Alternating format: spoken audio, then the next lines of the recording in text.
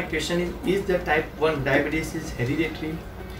Yes the type 1 diabetes may be hereditary because the family history of the type 1 diabetes have a higher side of the risk to develop the type diabetes their child. The type 1 diabetes is the autoimmune disorder in which our body immune system attacked by the healthy cells. Sometimes type 1 diabetes also called the juvenile diabetes because it's seen in the childhood or it remains throughout, uh, towards the lifetimes.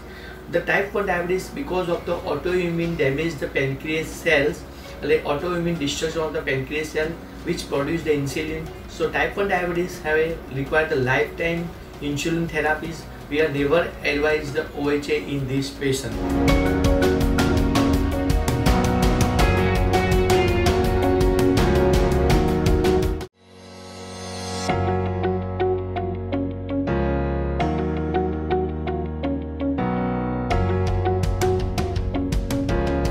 Today we are discussing about the family and diabetes.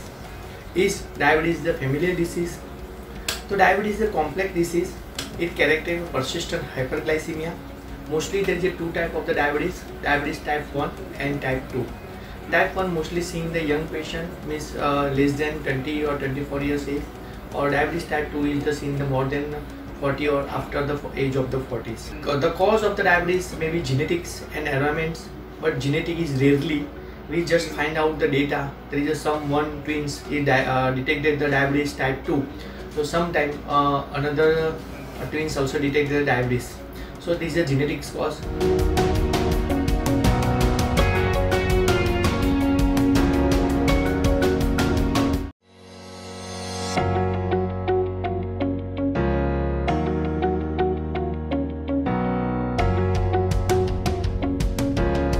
question is that is type 2 diabetes hereditary. Means there is a family history of the type 2 diabetes mellitus. There is more chance of the develop the patient with uh, type 2 diabetes mellitus.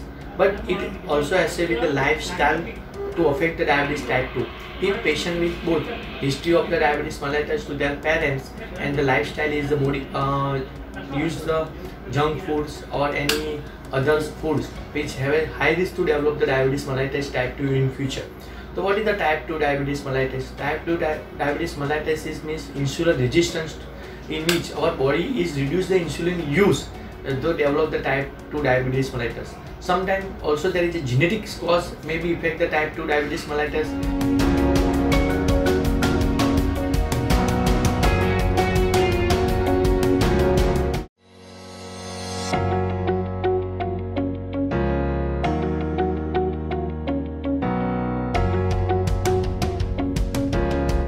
What is the first aid to give the diabetic emergency hypoglycemia? This is the most important. Any patient with the uh, diabetes mellitus, uh, patient and their relative know about the hypoglycemic symptoms and their treatments. The hypoglycemic treatment is the rule 15. If any patient is complain giddy, uh, giddiness or perspiration, the first check the sugar level. If sugar level less than 17, give the carbohydrate 15 grams and then check the sugar after 15 minutes. This is the check for 2 or 3 minutes or advice to patient it recheck up to the 1 minute because again blood sugar level is go uh, below the normal level up to 1 month, uh, 1 hours so recheck after 1 hour. If again the sugar level is less than 70 give the 15 gram carbohydrate again or 3 or for blood glucose level